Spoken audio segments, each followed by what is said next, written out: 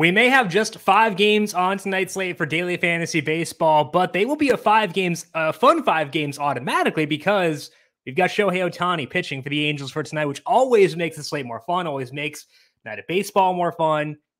And I'm not going to lie, it's kind of a uh, no thought spot here for Ohtani where you just put at the top of your list and go from there. I think things after that are a bit more unclear, both for secondary options at pitcher and for stacking. So we'll dive in on Ohtani, let you know my thoughts on him, but then we'll try to dig in and decide who sits second at pitcher, which stack should we use, and much more, because that part a bit tougher for tonight's slate. So let's dive on in and break down Wednesday night's five game slate. Welcome on into the solo shot. That's right here on the FanDuel Podcast Network and numberfire.com. My name is Jim Sannes. I am a senior writer and analyst for numberfire.com, here to break down that five game slate with locks set for 7.05 p.m. Eastern for today. Out in St. Louis, there is at least a chance of rain for tonight for the Cardinals and the Cubs. The rain odds increase as the night goes along, but I think they should be able to get that full game in. Check back on the timing of that weather later on. But as of right now, I'm assuming that game will be good to go and could be prominent for stacking later on as well. We'll break down that, plus Ohtani and more in just one second. But first, a reminder to check out the Number Fire Daily Fantasy Podcast feed wherever you get your podcasts. Our breakdown of this week's Wyndham Championship for PGA DFS is posted. The final event before the FedEx Cup playoffs, Brandon Gdula and I broke down our favorite golfers in each salary tier, and much more. Find that by searching for the Number Fire Daily Fantasy Podcast feed wherever you get your podcasts. And if you like what you hear, uh, leave us a rating and review as well. This baseball season turned K's into cash and big hits into big wins with FanDuel Sportsbook. Right now, new customers can step up to the plate with a no sweat first bet up to $1,000. With great promotions every day, a safe and secure app, and the ability to get paid fast, there is no better place to bet America's pastime than on America's number one sportsbook. Download the FanDuel Sportsbook app and sign up today to get started with your no sweat first bet up to $1,000. Must be 21 plus and present in select states. First online real money wager only. Refund issued as non withdrawable free bets that expire 14 days after receipt. Restrictions apply. See terms at sportsbook.fanduel.com. Gambling problem? Call 1-800-GAMBLER or visit FanDuel.com slash RG. In Arizona, call 1-800-NEXT-STEP or text NEXT STEP to 53342. In Connecticut, 1-888-789-7777 or visit ccpg.org slash chat. In Louisiana, 1-877-770-STOP. In New York, 1-877-8-HOPE-NY or text HOPE-NY. In Tennessee, call the red line at 1-800-889-9789 in Wyoming, 1 800 522 4700, or in West Virginia, 1 800 gambler.net. Pitching preview for this Wednesday main slate show. Hey, Ohtani checks in as the highest salaried pitcher on FanDuel coming in at $11,300. Not as bad as it could have been from a salary perspective. Freddie Peralta is back off the IL. He checks in at 10.5. Miles Mikolas facing the Cubs is 95. Julio Urias is 93 with Blake Snell at 91 and Alex Cobb at $8,200. Now we get Ohtani against the A's tonight. I shouldn't need to say much more than that. It's a perfect spot. You're going to put Ohtani at the top. The A's active roster has a 90 WRC plus versus righties. Got about a league average strikeout rate. Their walk rate is below average. And we love all that. And Ohtani is just taking a blowtorch to all of baseball right now. We're up to 10 starts on Ohtani with fewer forcing fastballs. His strikeout rate is 38%. He has a 2.20 skill interactive ERA with a 6% walk rate. We've seen Ohtani get double digit strikeouts in six straight games. And it's not just double digits, he's had more than 10 in all but one of those. So 11 plus in five of his past six. It is an unreal stretch of baseball Ohtani is on right now. So he's a top guy for cash games. He's a top guy for tournaments. He's a top guy for single entry tournaments. He's a top guy across the board. You just use him. It's necessary. Do it. Shohei Ohtani, the no thought top spot for tonight. The second spot behind Ohtani is more open to interpretation. But for me, I'm going to go with Julio Urias at number two. It is a tougher matchup for him facing the Giants because they can hit lefties. They have a 115 WRC plus against lefties this year, and they put the ball in the air a lot. But they will strike out. And Urias has been getting more of those strikeouts recently. He's been upping his four fastball usage across his past 10 starts. And In that time, Urias' strikeout rate is 28%, which is much better than it was earlier on this year. Now he's getting more strikeouts while also keeping his hard hit rate low. It's at 32%, which is the best mark on tonight's main slate. There are a couple downsides here. The Giants did just see Urias back on July 23rd. That was two starts ago. So there is some familiarity within this matchup. Also, Urias doesn't get the biggest leash from a pitch count perspective. He's on the road. So that's why I prefer Ohtani, regardless of game type. But I think Urias is a pretty good leg up for second as well over the rest of the pack because he's pitching really well right now, getting strikeouts, high strikeout matchup, suppressing hard contact. That's enough for me to put Urias number two and feel pretty good about it behind Ohtani for tonight. I'm going to stick in that same game for our value play here. That's with Alex Cobb at $8,200. Cobb might be third straight up for me, regardless of salary. It's either him or Blake Snell, but I will take the discount here and be okay with Cobb at 82. Obviously, the matchup is not ideal facing the Dodgers. Uh, they're pretty lethal against everyone, including righties. And Cobb can at least counteract part of that with his contact suppression. Over the past five starts, Cobb has upped his splitter usage back up to where it was earlier on this year. In that time, he has let up just a 19% fly ball rate. It's a very good number. And that's a big aid when you're facing a team as powerful as the Dodgers are. That's why we can feel okay with Cobb in this matchup. Also, just a 35% hard hit rate allowed. So we can feel better about him in tougher spots because of the contact suppression. The upside has come more recently. Cobb had 11 strikeouts in his most recent game, which is also at home. He had six against the Dodgers back on July 24th. So that does mean they saw him recently. We don't like that. And they did score four runs against him there. But Cobb is back at home in this one. He has a path to double digit strikeouts. He should suppress hard contact too. He's in a pitcher friendly park at home. His salary is 82. I think there are enough upsides to Cobb to allow me to use him despite this not being a perfect spot. I don't think anybody outside of Ohtani is in a perfect situation for tonight. So to me, I'm going to go Ohtani one by a wide margin. If you decided to use only Ohtani, no pushback. I might do the same. Uh, Urias number two, Cobb number three, then Blake Snell will be number four for tonight. We'll talk about Freddie Peralta and his situation in things to watch later on. First, though, let's talk about the new look Padres. We transition to the stacking section facing Chad Kuhl tonight. And I got to be honest, I have no idea who will be on this Padres roster in time to play because a lot of guys traveling from the from the East Coast to get here. I don't know what the timing of that will be. It does help that those trades were mostly finalized earlier in the morning. So whoever is there tonight for the Padres, I think they're in play for stacking. Kuhl's peripherals are ones we can stack against both at Coors Field and elsewhere. In fact, Kuhl's ERA on the road this year is 5.03. And it makes a lot of sense when you dig into the peripherals he's got. Across 19 starts, Kuhl has a 5.02 skill interactive ERA with a 17% strikeout rate.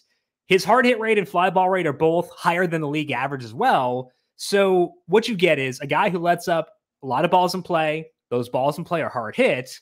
So I don't care if you're in Denver, San Diego, Tampa, Boston, it doesn't really matter. That's something we can stack against. We get a chance to do that here with a crazy fun team. So it's kind of a, you know, treat yourself kind of slate. Use Ohtani. That's fun. Use the new look Padres. That's kind of fun too. I don't know who will be able to play here, but we should know before lock, I'd assume. Their lineup should be out before then. Um, the good thing is it's a very staggered start tonight, too. First game at 7.05, and then there's no second game until 7.45. So even if we don't get the lineup right away, we should know before that second game. And I think that'll help things out quite a bit. So we'll know in time who will be starting for today and should be able to fill out good lineups based on that. Uh, but the Padres overall, a fun team for tonight. I'm curious where Jurickson Profar shakes out in this new look lineup because he's been super fun this year. He's got a 199 ISO against righties. He has the second best WRC plus on the original team behind just Manny Machado, so excluding uh, Soto, Bell, et cetera, et cetera. And Profar can steal some bases. I want to keep using him. I assume he'll be somewhere at a decent spot in the order. So I think he's been hitting well enough where you don't drop him out of the top you know, third, uh, the top half of the lineup. So I'm more than okay keeping Profar on my lineups. I still am very on board with him. We'll see where he settles in, but um, everyone here benefits from having good batters being out of this lineup. Hopefully, they're there for tonight. I would love to use guys like Soto uh, and Bell, but we'll see uh, what the lineup looks like. Either way, the Padres are a fun team for stacking today. The Brewers are facing Tyler Beede tonight. Beede has been really good as a reliever, often in longer stints. You know, he's been going 30 to 40 pitches pretty often for the Pirates. I'm not looking to stack against him specifically, but Beede is not stretched out yet, which means we're going to see a good number of middle relievers in play here. And if you can if you can increase exposure to middle relievers in DFS in general, that's going to be a good thing. And I think that does bode well for the Brewers in terms of stacking for tonight. Beede's likely getting stretched out here to replace uh, Jose Quintana. I've got Beede projected for 50 pitches tonight, and he's pretty solid. He has a 3.71 skill interactive ERA since he started working in a sinker more often, but not a ton of strikeouts. Doesn't really suppress hard contact. He does get ground balls, which is annoying, but that could slip backwards a bit as he gets stretched out further and can't keep that same velo for the entire time. After that, things will go over to the bullpen here. Once again, they're fine, they're okay, but they're not a bullpen we need to fear. If we're getting middle relievers all potentially stretched longer than usual, we can stack against that. So this is not about Beede. I think going to be fine as a reliever or as a starter, probably somewhere in the 4.3 skill interactive ERA range if he if I had to guess. That's not bad. It's more about the situation overall, and it makes me want to stack the Brewers here for tonight. One thing we want to be cautious with is that two of the middle relievers the Pirates have are lefties, neither of those guys worked either Monday or Tuesday. So we'll probably see a lefty in there at some point tonight, which is going to make me higher on guys like Willie Adames and Hunter Renfroe, who can hit both righties and lefties in order to safeguard themselves for when the lefties do come out of the bullpen. I'm still okay with the lefties. They'll get at least a couple of whacks against Beede, but I at least want to keep in mind that we should bump up guys who are good against both righties and lefties to safeguard ourselves for when the inevitable lefty comes out of the pen for the Pirates here. So keep that in mind for sure. Okay with the lefties, but I would prefer guys who can hit well against guys of both handednesses. Is that plural? Handed eye? Handednesses? Whatever. I don't know what the plural word of handedness is. Either way, guys who can hit both righties and lefties. Probably the easy way to say that there.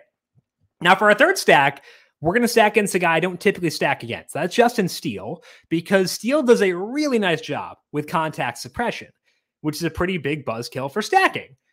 But the Cardinals obliterate lefties. And I think that matchup is tough enough to let us stack against him on just a five game slate. I thought my spreadsheet was bugging out when I was looking at this matchup yesterday because, you know, I will it'll pull in data versus righties and lefties and automatically populate once I tell the the spreadsheet which handedness the guy has. And it pulled up the Cardinals' numbers against lefties. It is just 600 plate appearances, so there is some small sampleness in there, but they have a 150 WRC plus against lefties on the current active roster. To give you some context on that, if the quote unquote Cardinals against lefties were a single batter across the full Major League Baseball season, they rank 12th among all qualified batters this year in WRC plus. They're insane. And that means you need to be an extra level of good to shut them down. I like Steele. I'm just not sure he's there right now. His skill interactive ERA is 4.18. He's lit up a 33% hard hit rate. He does get ground balls 52% of the time, which is pretty annoying. I'm just not sure if it's enough to hold this specific team in check. I do feel uncomfortable stacking against him. I just think we need to with this team on a small slate. So I will put the Cardinals third on my list for stacking in large part due to the fact that Steele's a lefty and they send them to the moon. One of my focal points in uh, stacking will be a focal point of the trade discussions, a focal point of some vitriol yesterday. That's Dylan Carlson. Uh, Carlson was, you know, uh, get, catching some heat on Twitter as it seemed like they were reluctant to move him. But hey, I mean, at least against lefties, I kind of get it. Uh, 219 ISO against lefties this year for Carlson. It was 187 last year. Hasn't had the best results so far this month, but Carlson does get bumped up against lefties. Likely, I would bet to bat second or so for $2,700. I like that quite a bit. So Dylan Carlson uh, went yard last night. Seems like the uh, I don't know if this is a revenge narrative against Twitter or whatever it may be, but hey, uh, he, had, he had a home run last night. So, revenge narrative in play for Dylan Carlson. I do like him here at $2,700. Let's go now to things to watch. And it's uh, Freddie Peralta time. He's back. I love Freddie Peralta in general, but not expecting a full pitch count for tonight. I haven't projected for 70 pitches.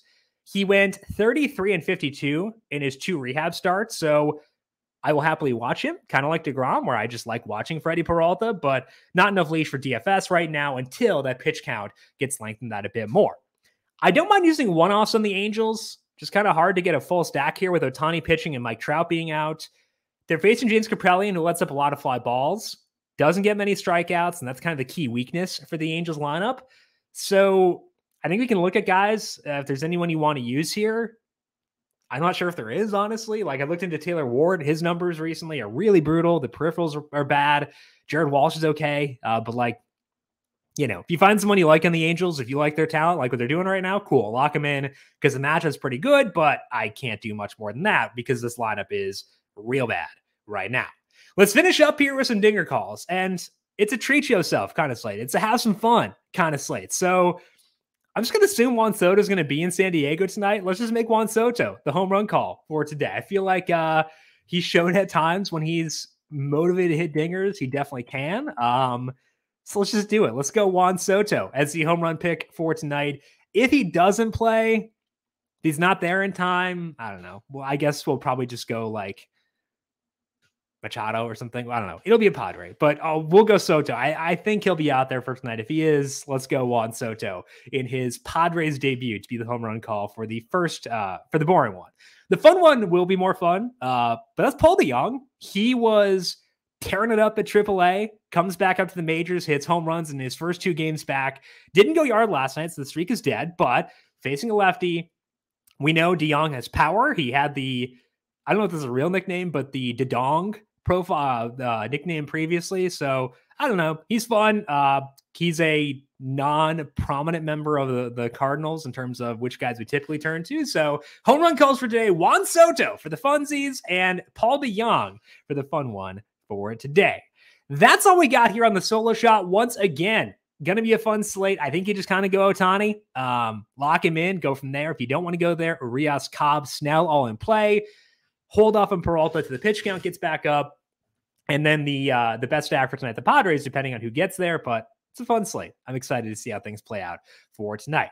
Do not forget to check out our PGA DFS podcast right here in the same feed, the numberFire Daily Fantasy Podcast feed to get set for the Wyndham Championship, which tees off tomorrow. Uh, check that out wherever you get your podcasts. Also, UFC and NASCAR each week, NFL about a month away two twice per weekly, uh, twice weekly DFS podcast here on this feed, recap podcast and preview podcast. If you have not hit subscribe yet, go do so. Get yourself subscribed, and while you're there, if you like what you hear, leave us a rating and review as well.